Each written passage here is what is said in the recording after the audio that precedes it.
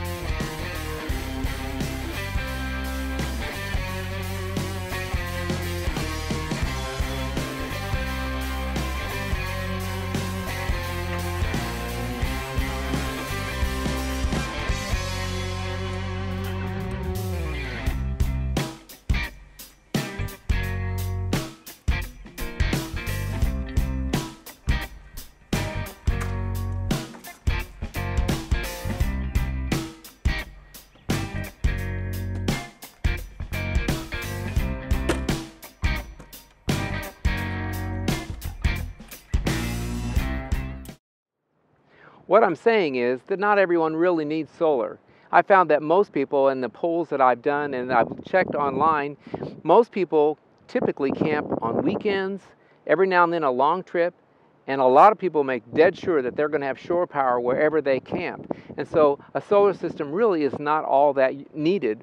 But there are times, even for those people, but especially for my wife and I, where some kind of solar system or at least a battery system really helps. And so we built ours around a Jackery 500.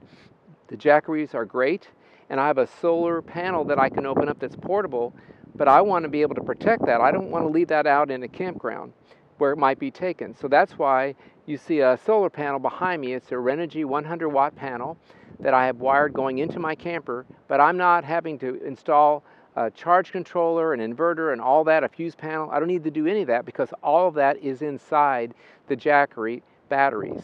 And so the 500 will serve my purposes. There's a Jackery 1000 now that's really great as well. But even for people like my wife and I, we have shore power quite often, but sometimes we're at a national park where we don't have shore power, and so we need something there. Or if we're going from a campground to a campground that does have shore power, we may stop somewhere at a Cracker Barrel, and I would like a way to run my uh, MaxxAir fan and run some lights inside, maybe watch a movie on a laptop.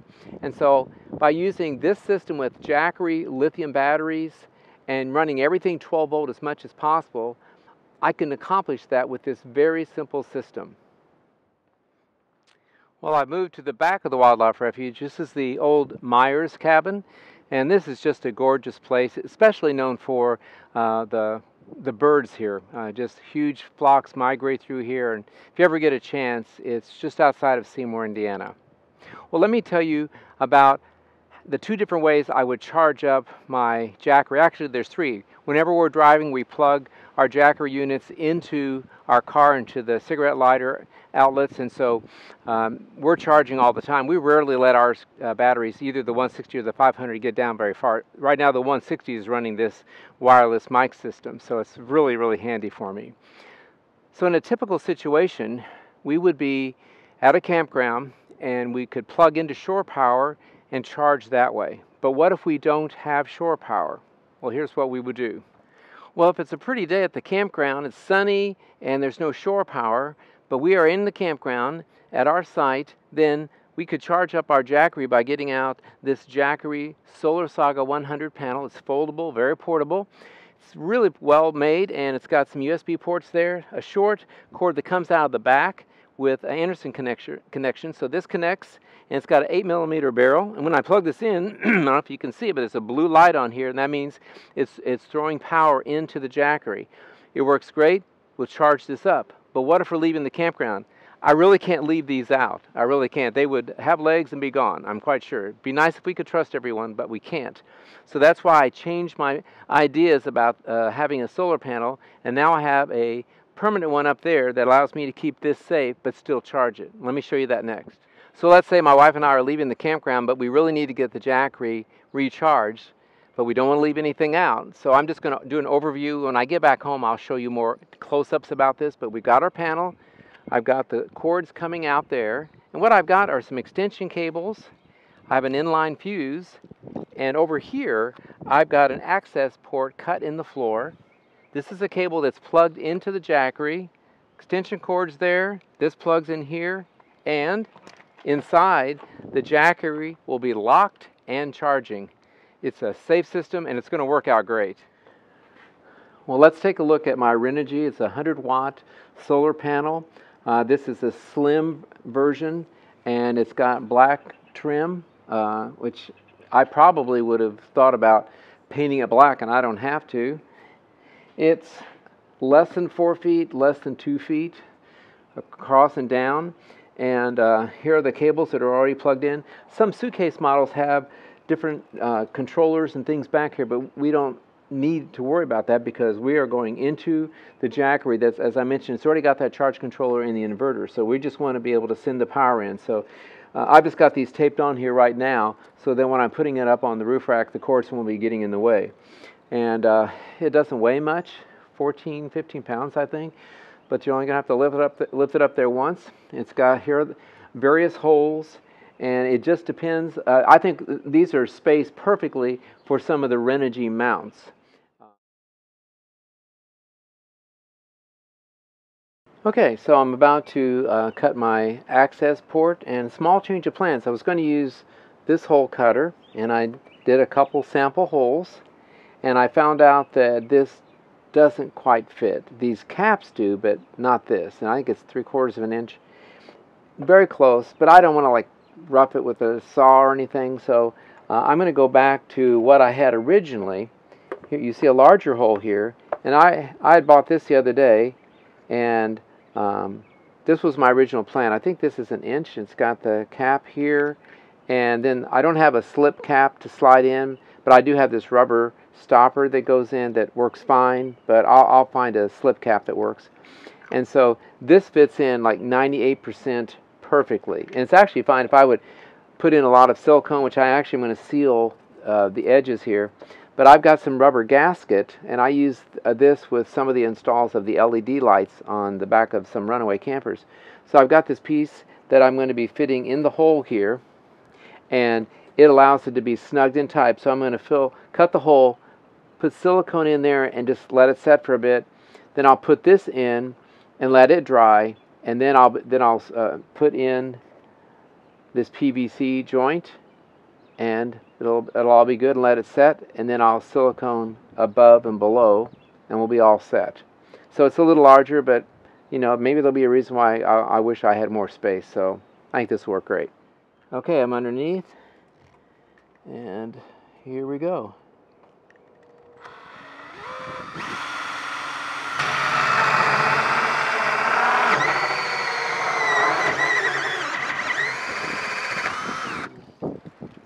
Almost through. I don't know if I can make it. Let's see if it'll let me go through here. There we go. Whew, another hole in the fiberglass composite. So that actually went pretty well. Um, I had to push that one last fraction to get all the way through. So right now, I've cleaned out the hole. I've filled um, all of the sections of the fiberglass composite with a clear silicone. And then now I put in this piece of rubber gasket. I'm going to let it set for a minute because I tried to push this in it just comes right out. So uh, after this dries a bit in there, then I'll be pushing this in and then all I have left to do is just do some um, silicone, especially around the bottom and then put the cap on and this part of the job is done. So it'll be real handy with the battery right here and I'll, I'll show you that later on. So uh, nothing fatal happened. Whew. so here's what it looks like kind of trimmed up and then here is the slip plug that drops in. It's nice and flush. Let's go look underneath. So underneath it's nice and sealed and I've got threads so this will go like that. I'll tighten that all, all up when I'm uh, when we are traveling. Well, I'm sorry to tell you, I did not record me installing this solar panel. It's just a matter of four U-bolts. I had to drill some holes, and I'll tell you about that in a second. Um, but it really would have made a very exciting time lapse. Here's the installation, and I really mean simple. I have four U-bolts, and for this runaway camper with the runaway supplied roof racks, I got two inch, they're quarter inch thick, and three and a half inches long, which is a little bit too long. So I measured and I cut them off with a hacksaw, and then you had to carefully get them going the first time. I filed them, and, and that all worked just fine. And so I fit them under, and it's a little tight, but I got them all nice and tight with lock nuts, so it's rock solid on there. And one warning uh, when I was drilling new holes because these Renogy holes di didn't line up perfectly with my U-bolts. So I got to use some of them, but I had to drill some new ones. And so imagine that I take, you're seeing me take it over to the deck. I laid a blanket down, it's flipped over, so the solar panel is down. And so I'm drilling through here. Just be careful because it's not very thick aluminum. So you're drilling through and all of a sudden you're through it and you could so easily damage the solar panel. So I put two or three little pieces of wood kind of thin underneath where I was drilling every time because every time I drilled I went through and hit that wood just barely. And you think you control it, but boy, you're through. So make sure you uh, protect the the solar panel so you don't kill it before you've ever used it. So that's really all there was to it. There's actually room up there for a second um, panel just like this. Right now, I don't think I will need that. Uh, we just really don't do off-grid stuff. Um, and for the kind of camping that we do, uh, in between places where we have shore power or we're at a national park, as I mentioned, um, there we would uh, need to have a way to charge up the battery, lithium battery. Um, and so between this and the um, Jackery foldable panel and just driving and charging it that way, uh, we'll be fine with our power needs with the lithium battery. Um, let me get the camera up closer and I'll just show you close-up, close-ups up here of what I did. So here you can see the uh, cords coming out from the solar panel and you can see the U-bolts there it's just that simple, not a lot to it. Just, as I said, be really careful with the installation. Well, let me show you how I would hook up the solar panel to the Jackery. Remember, I've got an access port down there. I've got these two cords coming from the solar panel, and um, I think out the refuge I had it draped down here, but I think a better solution is I'm going to have it coming down the front, and I found on Amazon some 2-inch uh, black loom, split black loom that you can fit wires in. I use this with LED installs um, underneath the camper. So I've got some 2 inch that I'm going to be ordering and I'm going to kind of gather these wires in that black loom and so it'll be kind of neat, a lot neater coming down. And so um, they're male and female and there's just no way to mess that up. You just plug things in. So I've got my uh, um, fuse here. It's a 10 amp fuse. And so I'm going to plug that in first you want it close to the solar panels, what my friends have told me to do. So now I'm going to plug this in. Get this one plugged in. And that's all there is up here. And so, like I said, there'll be black loom. When we're traveling and not using this, the, the cables that are connected to the panel, I'm going to have them wrapped and cable tied up there and all these others will just stay in my storage box. So that's going to make it quite handy. So I now will have them draped down and then let me uh, go down underneath here and I'll show you what happens next. So all that's left to do is get these plugged into the extension cables. Now this is what's going to feed underneath. So here is a uh, 8 millimeter barrel connector. That's what you need for the Jackery. And I, I, I bought this. Some people make their own, but uh, I got this online. Uh, there's a guy that I watch on YouTube. He goes by Hobotech, and he really knows the Jackeries. And so if if you get one of those and want to know anything about the wiring, or if you want to put two panels together, I'm not going to give advice on that, but he'll tell you uh, the cautions, that, what you need to do and not do when you're uh, running more than one panel. So I've got my access port, and I've got it, again, it has a cap that's threaded so water's not going to get up there. It's all siliconed in. So here's my Jackery. This is coming through. And again, I have a, a cap here that's a slip that will fit in there and cover it. I cut a hole in the foam uh, flooring that my wife put in. So I plug it in right there. And then as soon as you plug it in, if you're getting any kind of light on that solar panel, a blue light comes on and you're charging. So we're going to go, say my wife and I, we're going to go off and um, go hiking, uh, doing photography. We'll just lock this up and yes, you'll see the wires, but that panel's not going anywhere and neither is that Jackery 500 unless they really want it badly, I guess. So this is our, uh, our plan B when we're charging uh, the Jackery. So again, why I like this system so much is I don't have to install inside here a fuse panel, a charge controller, an inverter. Nothing wrong with that. A friend of mine's got a beautiful system, and I'll pop up a picture and let you see what his looks like. But he's a, definitely more of an off-grid person than I am.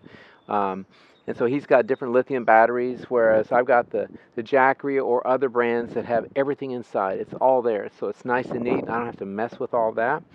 Um, and with these panels, they're great. Uh, there's a green light back here, and it shows that it's already it's obviously getting in the sun. What's nice about these uh, Solar Saga, they do cost more, like three times as much. That one, that Renogy, I think cost me 110, and this cost, I believe, the normal price is 299 unless you can catch a sale. But boy, they are really handy. Uh, they fold up. They have magnetic enclosures that it, it helps it shut tight. It's got USB ports uh, built in, so you could actually have this out and, and, charge a phone or an iPad or something. It's got a USB-C as well. It's got a little uh, door back here, and so I plug this in and plug this into the Jackery just like before, and there you go. And so this is what we would do to charge it when we are in camp. Um, as I keep mentioning, you know, things can uh, walk away at a campground. Um, We've never had anything stolen, but it certainly can happen. And so we've got uh, this easy panel to use. Um, and you really don't want this sitting in the sun. So it's possible that I would keep this in the camper or in the shade somewhere and get this position. This has got kickstands in the back, so you can angle it just right. And uh, it's already taking in power right now. Um, if I wanted to have uh, the Jackery inside because it's really hot, I could actually just hook up extension cables to this cable and have this position so it's out in the sun. And then, if say we're there all day long, we're editing or we're doing whatever we one day we've had a long uh, travel day or something, and we're just staying in the campground. I could be moving this during the day to get it to line up. Yeah, it would be nice if I could angle that as well, but uh, that's kind of a pain. You have to be turning the camper all the time, and people with big rigs obviously can't do that. So we get what we get out of that panel, um, but this one is more movable, obviously, and so we could uh, position it to bring in the maximum amount of power. So that's the system right there. Um, next, what I'd like to do is show you uh, just inside and talk about just how we uh, put all this system in use inside. We can switch easily, easily between shore power and our lithium battery. So we'll go in and I'll show you that next. Well, now I've got the camper plugged into an outlet in the garage so I can run the air conditioner, which I prefer not to run in this small of a box that we're sleeping in. Uh, it seemed to always be either too cold or hot, but uh, we run it if we need, if we can, and, and, really need to. But that's why I'm excited about the new 10-speed 12-volt fan that I put in with the vent, and it really pulls air through. I, you can look and see a video of that, and you can also find a video that I did where I completely did the rewiring, and I put in uh, new power strips, smaller with USB ports, and I put in a ground fault outlet here and an outlet. This cord here is going out so you, I can plug in things outside if I want to. So I've got the LED lights running and that's plugged in here with this cord. The fan is 12 volt, but I found on Amazon this adapter. I can plug this in so I can run the fan with regular shore power. I don't have to plug it into the Jackery, and I won't. If, we if we have shore power, there's no reason not to plug it in and run it this way. So let me turn that off. So we can have the best of both worlds. And um, really, about anything that we would run with shore power, we'll be running just fine with this Jackery 500 without any issues at all. So uh, we've got it covered both ways. Well, the power is turned off, and so what am I going to do now? Well, if I was at a campground uh, without power or we're at a Cracker Barrel, one thing I'm not going to do is run the AC. Um, if you are someone that absolutely has to have the air conditioning or you've got a CPAP machine that takes so much power, um, you may need to consider carrying a generator with you. We've got a Honda 2000, but we don't take it with us anymore because we, we just simply don't need it. I really don't like using the air conditioner. It's such a small space. I either I either felt too cold or hot. Not much in between. It seemed like so. Um, if you've got those issues, then you may have to consider always camping with shore power and have the, a generator as backup. So let's say we're at a campground or we're at a Cracker Barrel. What do I want to run? Well, I, I want to run that fan for sure. And so I've got a couple of options. Actually, I've got a small uh, lithium battery. This is a Max Oak Bluetti, and it's unusual because it's got a regular outlet. So the uh, I showed you that I could power this uh, Max fan by plugging it in with that adapter, but I could actually have this setting up there, and this would run that fan for quite a while for sure. But it's a 12 volt fan, and so that's where the Jackery comes into play. And so I've got some conduit coming across and actually if I try to reach it here it won't reach. If I turn this sideways it'll fit. But uh, I've actually got this adapter. The smaller Jackery uh, doesn't have a cigarette plug in. So it comes with this. So I actually if I wanted to just I could plug this in here push the DC button plug this in. You heard a beep. There goes the fan. And there's the fan running. So I can turn this and make it fit. So that will take care of, the, of that fan. Let me turn that off. But what about the LED lights? I can plug it in directly to the front of this and run my LED lights. So let me turn this. And I'll turn my lights on. There they go. And so I can run it that way. And um, if I have more things plugged into this outlet, I can actually just take this plug coming from this um, surge protector and whatever is plugged into here except for the AC would run, I could plug this in directly or I can just use an extension cord if this is down below. I could plug this into this, I made a short cord and I could plug this into the Jackery and I can run everything um, that's not a huge power hungry device and we we won't be using much of anything like that. So uh, that's how it works. So um, we can just plug in directly this way or like I said whatever is plugged in here like say a laptop or a, a phone's charging we can um, power it by plugging this in and this will be underneath and off we go. So a super handy system. It's going to take care of our needs and most everything that we would be running in here just won't use that much power. I would say what would use the most power would be laptops or if I brought a screen with me to do editing or to um, maybe to see a movie a little bit more easily. But other than that, this is how our system works. We can switch easily from shore power to lithium batteries. Well, before I go outside and do my final bit on this video, I did want to just say a little bit about these lithium battery packs. They're great. As I've mentioned several times, everything's inside there. You've got the uh, charge controller, you've got the inverter, everything is in the package. And so it's very handy unless you are more of an off-grid person and you can, you know, build something that'll work great for you. So if you're a van lifer or uh, someone who's long-term out there or really goes off-grid, what I'm showing you probably won't be enough. So you may have to beef it up or come up with the system that will work for you. But what I want to mention about these, we, we plug 12 volt devices in here, and you've got to watch out because some of these lithium units, not Jackery, but there are some brands out there that look the same. And you go, oh, I found something even cheaper. Well, they are cheaper because they probably don't have what's called a regulated 12 volt port. And what that means is, if it's regulated, if I've got, especially a refrigerator, that's probably the most important thing. Refrigerator, probably some CPAP machines as well.